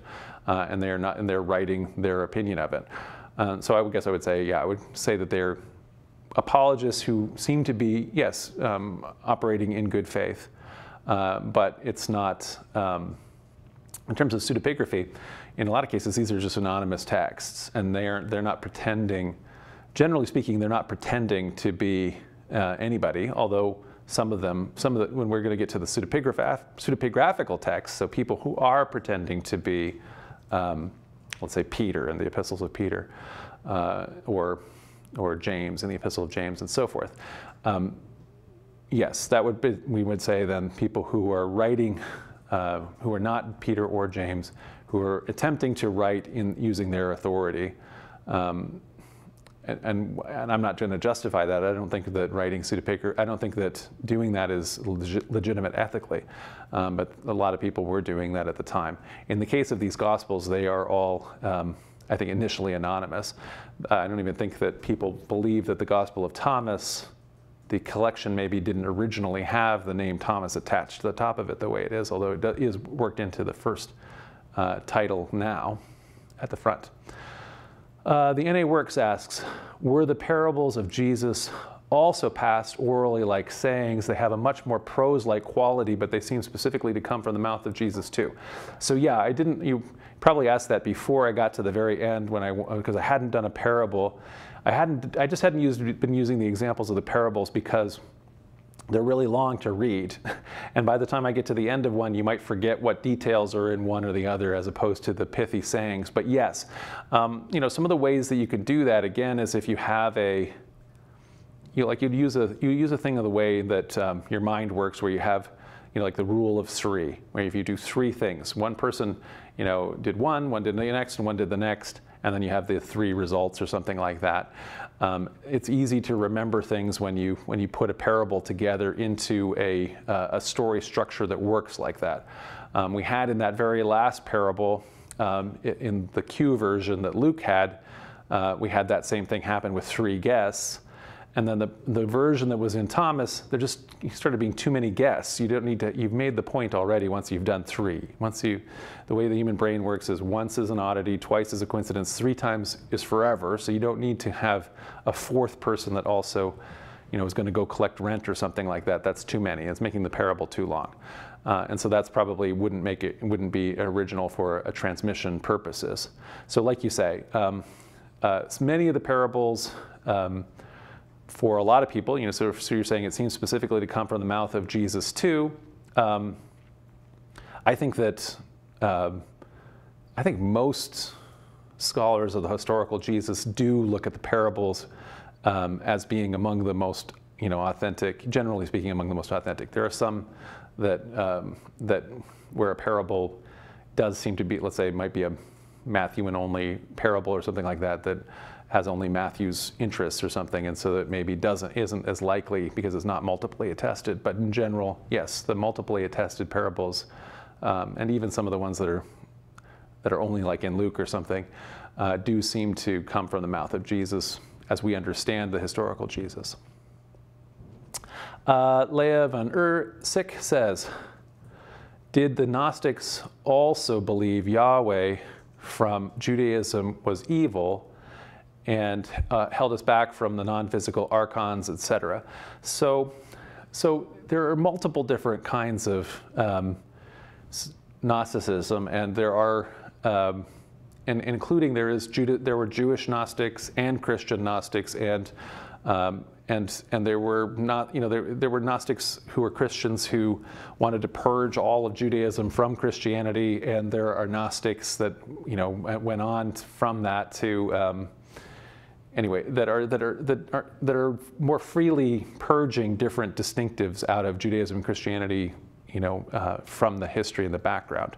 So yes, in a lot of cases, um, uh, a bunch of the different um, Gnostic-related uh, communities have teachings where um, the God of the Old Testament, Yahweh, or Jehovah, is, um, is essentially the uh, uh, Yaldabaoth, the, um, the um, uh, was I saying? The, the Aristotle's um, un, uh, un, physical unmoved mover. The, uh, Aristotle's uh, not, not, the unmoved mover. It's the um, anyway, the physical creator, and is the, is the evil creator of the evil material world and so forth, which is a mistake. And that the true creator is the creator of the world of spirit. And so, yes, so there is a, that is a tendency often in, in Gnosticism as part of the very elaborate creation allegories and mythologies that Gnostics ultimately make in order to um, describe you know, an essentially um, perfected Christian Platonist um, worldview. I'm, I'm, I'm, just turning it down now, so I, have got the access to this now. Michelangelo says, what did, why was Q forgotten and never mentioned by other authors if it was such an important and quoted text? When Q was, when was Q probably lost? Was it written in Greek? So yes, it was written in Greek. Um, so it would have been lost right away. So within the first, um, uh, you know, so if it would have been written, let's say, as early as the 50s or 60s, um, it may have been out of circulation already by um, the middle of the second century, so it just was not copied. Almost all texts are lost, by the way, so why would it be lost? Um, why would this one in particular, if it's important, be uh, lost? Let's say if you have in your library, you have Q, and let's say you also have a copy of Luke and you also have a copy of Matthew. And it turns out there is nothing in Q that, let's say, isn't in Luke. So you have an, so like this book isn't as valuable to you because as you read it, so let's say there's nothing in it that you are not already getting out of reading, let's say Luke or Matthew, your favorite gospel, whichever that is. Um, and so as a result of that, if you have to spend time getting a copy of it or making a copy of it. Like somebody comes to your library and they want to copy one of your books and they read it and they're like, oh, I've already got this because I've already got a copy of, of Luke. I've got everything that's in this text. Why would I need this shorter version, what I would think of now as a shorter version of Luke? So for that reason, the Gospel of Mark was almost lost. So people were not copying Mark um, even though it's so much more important and because it's the first gospel and so forth. And the reason why is because uh, almost everything that's in Mark you could already get out of Matthew and Luke, and so uh, and so it wasn't worth copying to a lot of people, especially considering it had this weird ending and so on. And it was not as as good or as popular, and so it's very normal for um, the way uh, ancient text work to take a text, because uh, every time you copy a book, it's not just like you can download it to your Kindle or print it on a printer and so forth, and it's always the same. Every time you have to make a new book, you've got to copy it by hand and every, every single time. And so as long as you're doing that with an um, imperfect book, you might write and expand the book uh, every single time. Or if you have a book, you might be taking notes and writing more notes in between the lines. And the next time you make a copy, all of those lines, all those notes might get incorporated into the text. So expanding texts is way more normal than not in the ancient world because of uh, the process of, of copying and so forth. And it was very, very common when a book you know, gets absorbed into another book that it's lost. If you read almost every, um, almost every ancient history text, uh, uh, they'll, they'll, they'll point out that you know such and such an author, Plutarch or somebody like that, is writing late, but he had access to all of these texts that are all lost. Uh, and so, and so Plutarch may be preserving, um, you know, some good history with his late stuff uh, because he had access to texts, you know, that get copied over and, uh, and again get included into the later texts that survive. St. Brush writes, do uh, the sayings of the hypothetical Q appear in other non-canonical gospels? So um, a very good article that I just read uh, in a journal that, um, that argues that um, the Epistle of James which includes a lot of these sayings of Jesus, although they're not attributed to Jesus, but it's the same sayings clusters um, that they provide, that they are circulating there in James as an independent witness to Q. So in other words, that, um, that maybe the author of James had read a Q document or had access to um, Q teaching, excuse me, had access to Q teachings.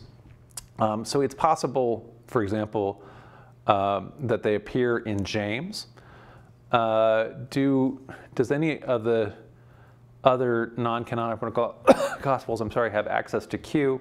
I don't. I don't think that anyone else has argued that. So I do think that we have uh, a possibility with James, um, the author of James, having access to that.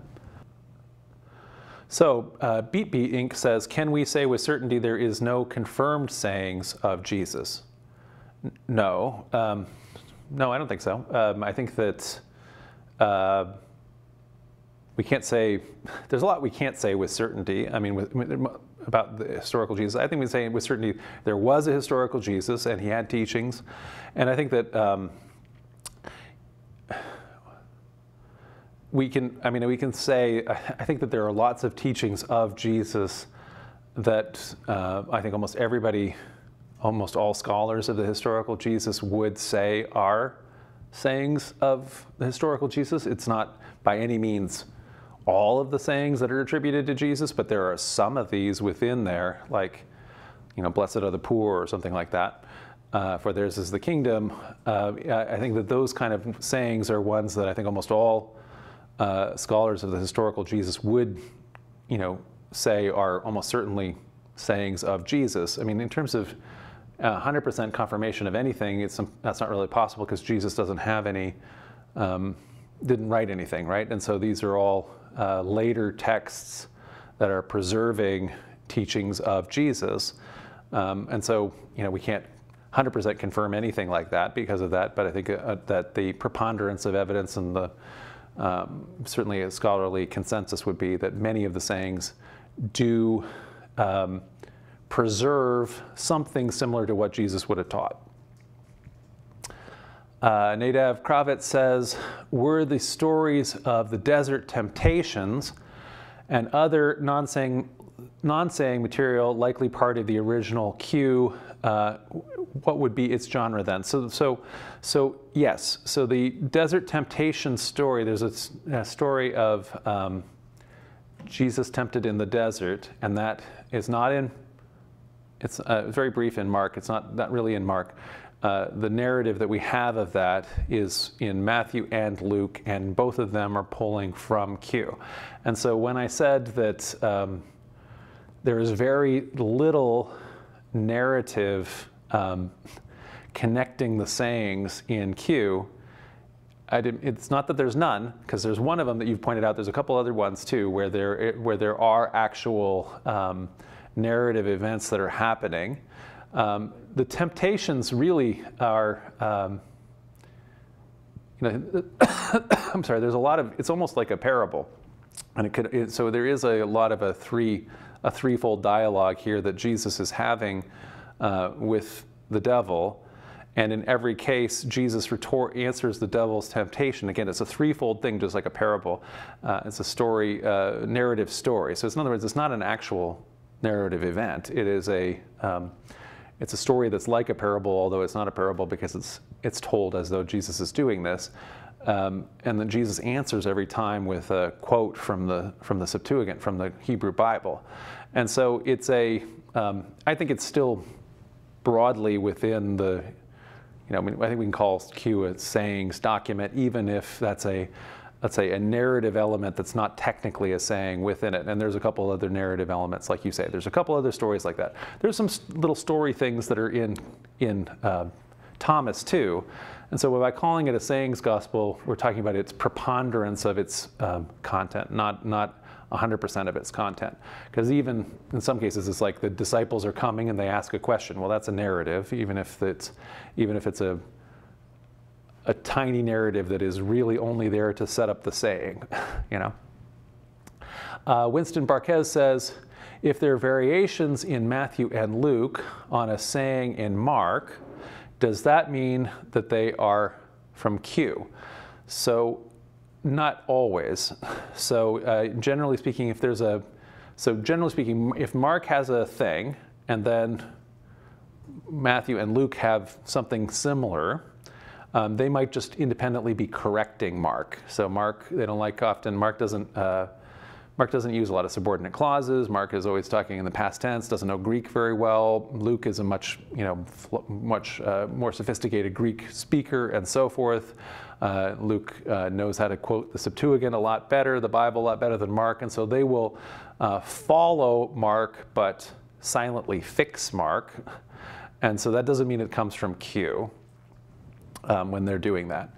Uh, and so, and so in a couple cases, there are things when there something exists in both Q and Mark, and so then, and so then what'll happen is that they'll glom the Mark and Q versions together in their gospel or something like that. But in general, if it's in Mark, uh, I would say as a rule of thumb, it probably means it's not Q. So usually it's something that's in Matthew and Luke both together and not Mark. That's Q, as your rule of thumb. Um, are there sayings that are exclusively from sources known only to Matthew or Luke, Winston asks. So yes, so there's a bunch of sayings that are um, that are in. That's why I call it the Matthean only or Lucan only material. So so these are uh, things that are not uh, found in. So it's let's say something that is found only in Luke, but it's not found in the um, in Mark, and it's not found in Matthew, and it's not found in John. And so, for example, the the the wonderful uh, parable of the prodigal son. It's only in Luke, you know. So this is a Lucan only material, and it doesn't have any um, attestation anywhere else other than Luke, Lucan material. And uh, same thing like in Matthew. I think an example is like uh, the uh, I think the lamb the the lambs and the goats. I think is only in Matthew, for example. Um, so like the uh, when they uh, you know when they when you're being asked um, you know, when did you, when did you, uh, when did we see you, Lord? And they didn't know, you know, and so they're separated into the, the lambs and the goats or something. So in other words, there's there, whether that's the one, I'm, I'm, I'm just trying to pull these from the top of my head. But in any event, yes, there's Matthew and only material and Luke and only material. Uh, Nadav Krasovitz also asks, does Q show any influence by or similarity to other known sources, particularly Jewish sources? Um, so yes, um, definitely. Uh, um, an example would be uh, Q seems to be um, building off of Jewish, contemporary Jewish wisdom literature. And so, um, so for example, the author of Q or Jesus um, may have been aware of, Jesus is not the author of Q, but uh, the author of Q is preserving Jesus' uh, sayings, uh, presumably. And so uh, the source here of the sayings may have been um, aware of, uh, for example, Sirach, uh, which is one of the apocryphal uh, Jewish wisdom sources that was within the, a couple hundred years had been written and circulating, and it is maybe specifically turning some of this wisdom literature and wisdom tradition on its head. So instead of um, instead of saying things like the, those wisdom sources will say, you know, if you want to be wise, you you have to be careful who you lend money to. If you're going to lend money to a deadbeat, you're you're going to end up in the poorhouse yourself because uh, you know because you'll never get that money back. You know, don't throw good money after bad, kind of thing. Whereas Jesus in Q is saying um, no, don't, don't, uh, you aren't, you're not going to gain anything in heaven if you lend only to people who can pay you back. You know, even the, even the, the Gentiles do that. You know, you, so if you want to be part of, you know, if you want to be part of the kingdom, you know, lend to people who, who there's no hope of, you know, giving back to you. So in other words, it's like turning um, uh, this kind of wisdom literature on its, on its end uh, in order to create kind of a, uh, a upside down uh, social revolutionary kind of spiritual kingdom as opposed to um, how do you how are you wise in in the in the real world conforming to conforming to um, uh, you know the world's kind of expectations and things like that. So I think yes, the answer is that there is uh, it's definitely part of the contemporary context of Second Temple Judaism, and it does seem to be engaging in dialogue, for example, with uh, contemporary Second Temple Jewish wisdom literature. Um, Leah von Ursig says, do any uh, scholars think the historical Jesus was possibly Gnostic? Um, so there's a great, uh, so Elaine Pagels is a, um, a scholar on Thomas who um, I think would like to draw the Gnostic elements much closer into the historical Jesus and Jesus's movement. And so would like to see Thomas as a very early document that, and make the case that what we see maybe, what I have maybe presented as Gnosticizing elements as being um, part of what the Thomas editor is maybe adding. I think she would like to show, say that instead, actually, what we're getting a window into a more maybe closer to Gnostic early Jesus movement at least, uh, that it's, it's, earlier into the tradition. So I, I don't know that there's a huge, I don't know if she has a huge following outside of her making that kind of an argument, but um, it's a really interesting argument. And so I, uh, she's got a lot of, uh, Elaine Pagels, she has a lot of uh, videos and, on YouTube, and you should really check that out. I think you'll love it. Um, Slick Trick says, um, is uh, Jesus, the uh, Judas, the author of the Gospel of Thomas. So, um, so the so the beginning of the Gospel of Thomas says uh, that these are the secret sayings of uh, Jesus that that Didymus, uh, Judas, Thomas. Uh, wrote, or that Jesus said to Didymus, Judas, Thomas. And so Didymus and Thomas are words for twin, and so it's it means and the, Judas is the name. So Jude the twin uh, is, is supposedly the author of it.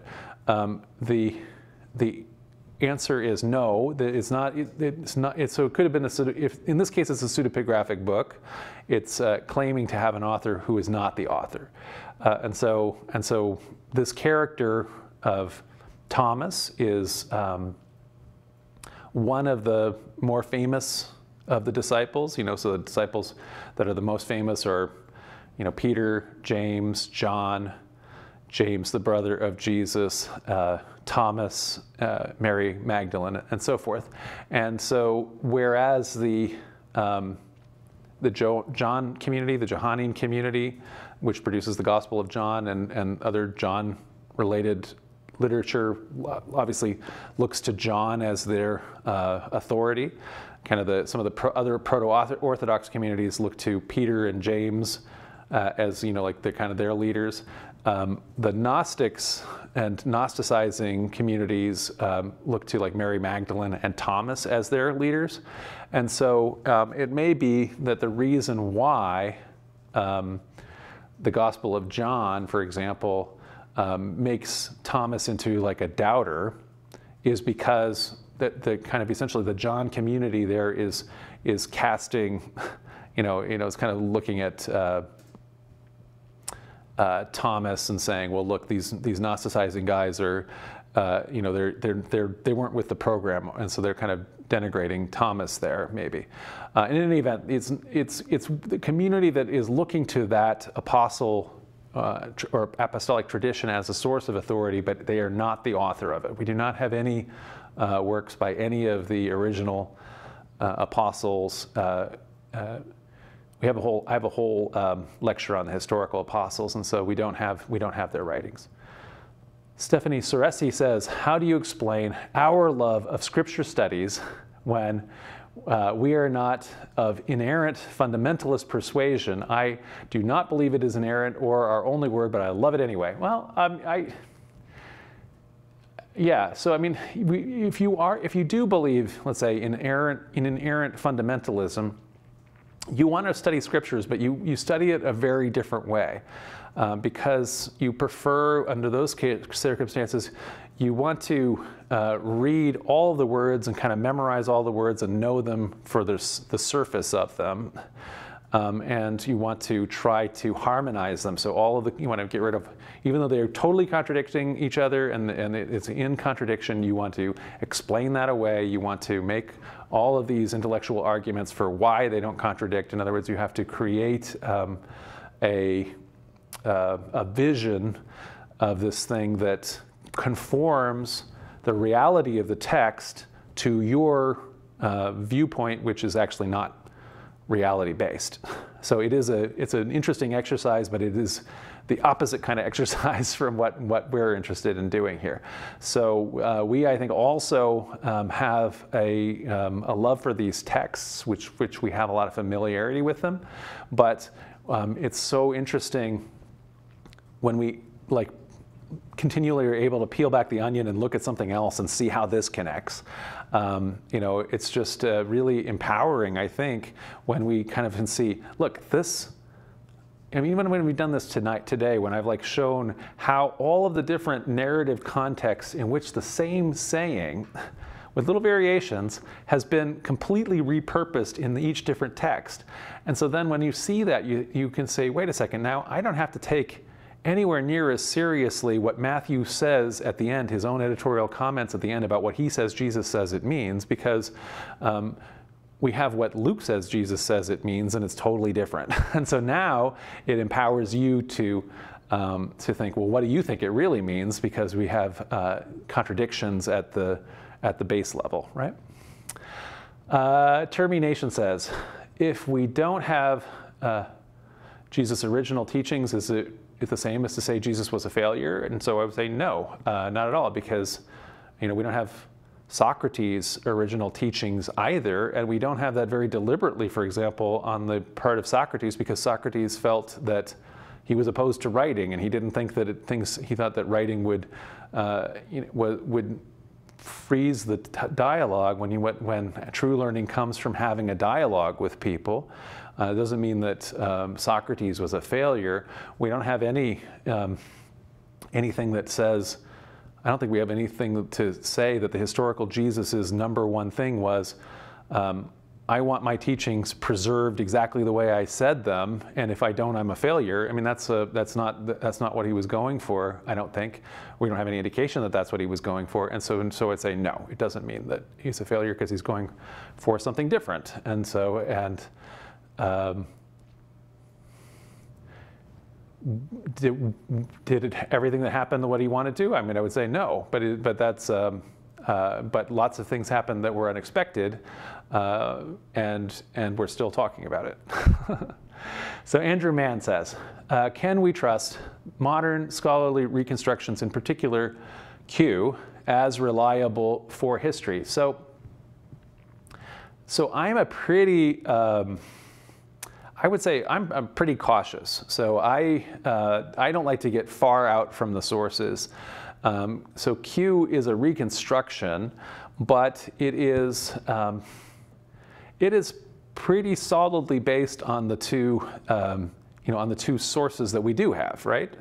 So we have Matthew and we have Luke, and so what we, and so the reconstructions that we have are are are not pulled out of, oh, well, it must have said something like this here or that kind of a thing.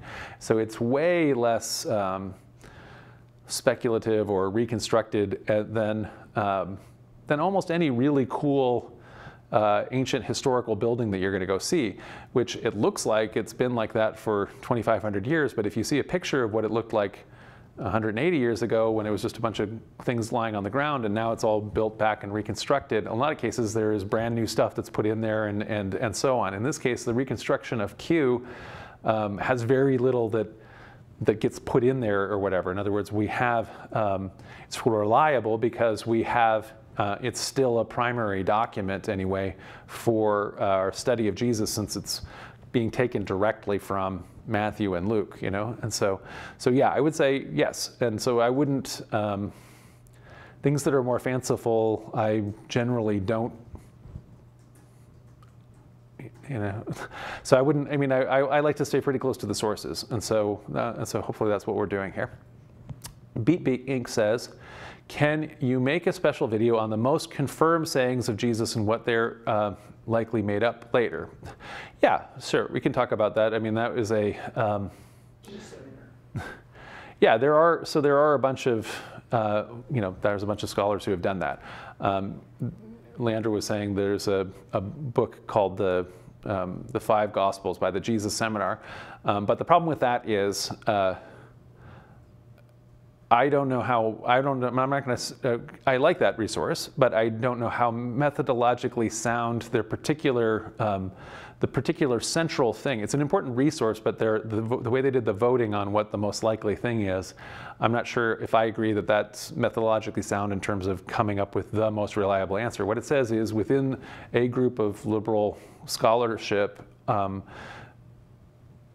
the consensus, the consensus about what the most reliable ones are these, uh, and so that's it's a neat book for that reason. And so I'm sure you'd be find that very interesting, BP.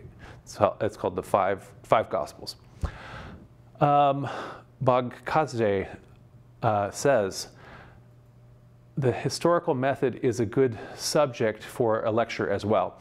Yes, so um, I have done a lecture on the past, for example, on uh, the invention of history, and so more or less how, uh, how kind of these things got going, and some of the methodology for history. I certainly have done what lectures also on um, some of the methodology for the academic discipline of literary criticism, which is how we kind of do these, um, let's say, biblical source criticism of these kinds of texts. Uh, and I've also talked about um, the interactions between history, uh, literary criticism, and then archaeology. Uh, and so, uh, but we could bring it all together into a lecture. I think that's a great idea. So thank you so very much.